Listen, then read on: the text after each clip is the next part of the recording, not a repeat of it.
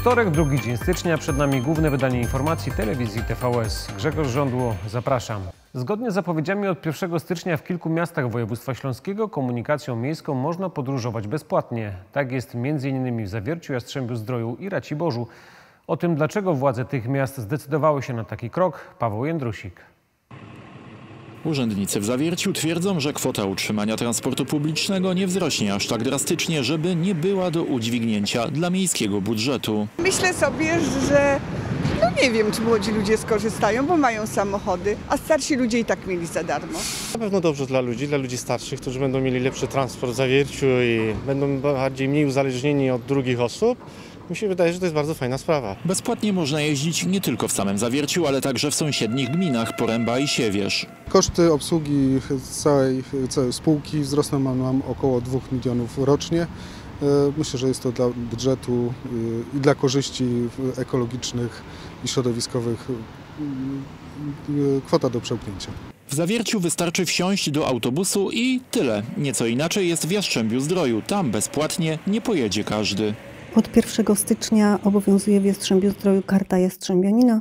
Każdy mieszkaniec miasta może na swój wniosek taką kartę otrzymać i wówczas przemieszcza się po terenie Jastrzębia Zdroju komunikacją za 0 zł. Być może to zbieg okoliczności, że w kilku miastach bezpłatna komunikacja wprowadzona została akurat teraz, ale za nieco ponad trzy miesiące mieszkańcy będą mogli nią dojechać na głosowanie w wyborach samorządowych.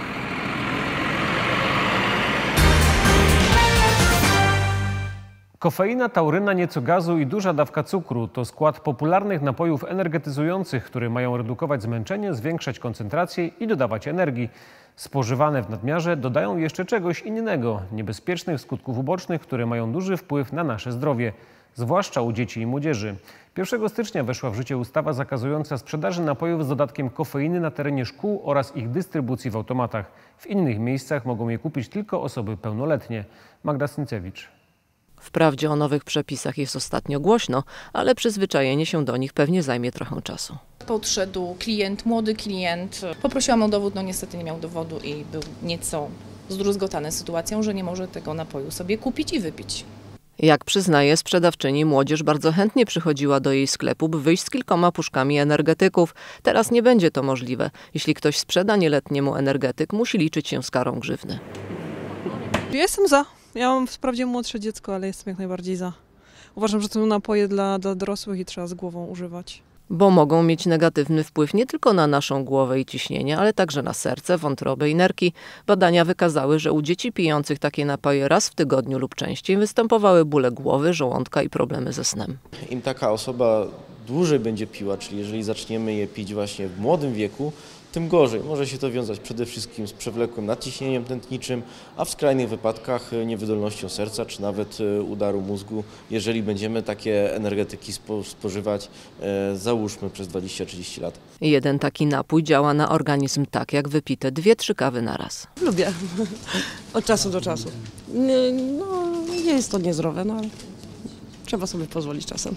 Nie mogą sobie pozwolić na łamanie przepisów nie tylko sprzedawcy, ale także ci, którzy produkują tego typu napoje. Napoje energetyczne powinny być w sposób prawidłowy oznaczony, powinny być napis, że jest to napój energetyczny. Każdej osobie, która sprowadza, która produkuje taki napój bez tego właściwego oznaczenia, grozi kara grzywny nawet 200 tysięcy złotych. Jednak nie o kary tu chodzi, a o zdrowie dzieci i młodzieży.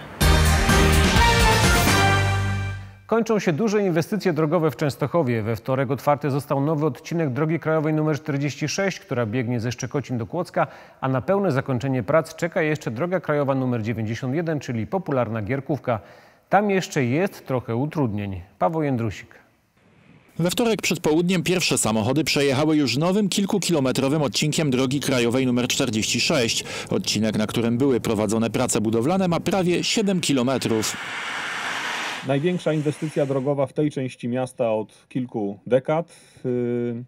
Ważny etap również modernizacji całego układu drogowego w naszym mieście. Jest to jeden z elementów łączących sieć drogową miasta z e, obwodnicą autostradową. Wraz z modernizacją i budową nowego odcinka powstały nie tylko nowa droga, ale także chodniki i drogi rowerowe. Ale to nie wszystko. Przebudowywana była e, lub budowana nowa cała infrastruktura e, podziemna. E, na całej długości tego odcinka był budowany nowy wodociąg.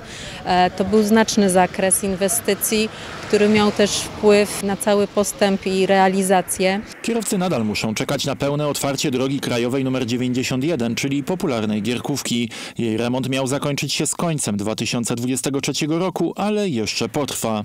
Wymaga jeszcze kilku tygodni prac ze strony wykonawcy do tego, żeby można było tam w pełni ten ruch y, udrożnić na osi y, północ-południe, w pełni, czyli po prostu, żeby przejechać z jednego końca inwestycji na y, drugą i korzystać z tych głównych skrzyżowań. Koszt modernizacji DK46 wyniósł około 140 milionów złotych.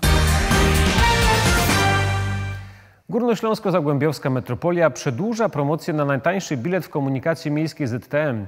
Jeszcze co najmniej przez trzy miesiące pasażerowie, którzy jadą na krótkim dystansie będą płacić tylko złotówkę. Co ważne, najtańsze bilety czasowe dostępne są tylko w aplikacji Transport GZM. Karolina Komada.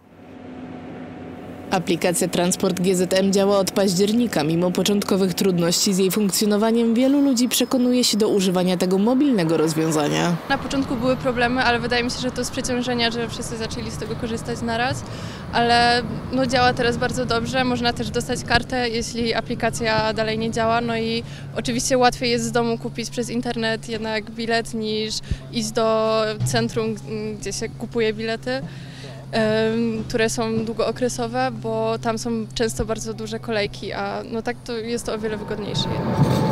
Wraz z uruchomieniem aplikacji zaczęła obowiązywać nowa taryfa biletowa, w której nowością są bilety na przejazdy do 5, 10 i 15 minut. Super rozwiązanie, bo właśnie często się po prostu, myślę tak, podskakuje tym tramwajem na chwilkę i to jest świetne rozwiązanie, bo tak chyba do tej pory było 3 zł za, za taki krótki przejazd. Myślę, że to jest rewelacja. Myślę, że częściej ludzie będą korzystać z komunikacji, jeżeli będzie tak dostępna. Promocja na te najkrótsze przejazdy w opcji start-stop została przedłużona. Chodzi o przejazd pięciominutowy. On przez ostatnie trzy miesiące kosztował zaledwie złotówkę w wersji normalnej, w wersji ulgowej 50 groszy.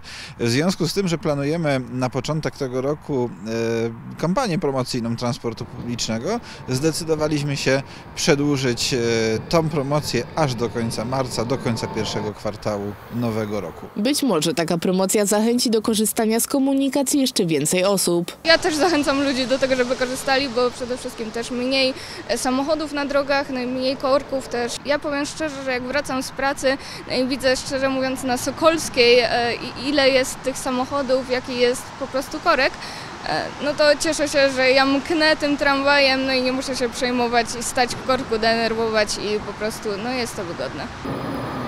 GZM podkreśla, że ceny przejazdów w taryfie czasowej nie wzrastają w momencie, kiedy autobus stoi w korku, bo liczy się czas rozkładowy. Rozpoczynają się obchody związane z tytułem Europejskiego Miasta Nauki, którym w 2024 roku są Katowice. Śląskie uczelnie zaplanowały na ten czas 50 tematycznych tygodni, w których będzie można nie tylko posłuchać o nauce, ale też jej dotknąć. Pierwsze wydarzenia już się odbywają i są związane z zimnem. Karolina Komada. A kto wie, czy za rogiem nie stoją anioł. Muzycznie mieszkańcy Katowic wkraczają w cykl wydarzeń zorganizowanych z okazji tytułu Europejskiego Miasta Nauki. Motywem przewodnim pierwszego tygodnia jest zimno. Zapraszamy do tego, żeby spotkać się z tym, czego człowiek na co dzień nie może dotknąć. E, Będzie można e, pobawić się ciekłym azotem, zobaczyć jak wygląda suchy lód i to generalnie rzecz biorąc są zajęcia dedykowane dla, dla uczniów, dla najmłodszych. Wszyscy mogli za to zobaczyć, jak rzeźbi się w lodzie i posłuchać, jak taki lód się tworzy. Proces tworzenia takiej bryły lodu trwa około 7 dni. Y, Powolutku zamarza w nie bardzo niskiej temperaturze, stąd też jest klarowny i nie ma w nim zatopionych bąbelków powietrza.